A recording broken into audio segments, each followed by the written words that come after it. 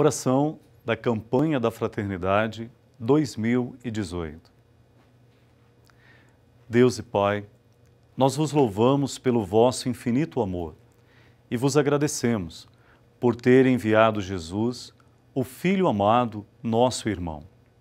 Ele veio trazer paz e fraternidade à terra e, cheio de ternura e compaixão, sempre viveu relações repletas de perdão e misericórdia.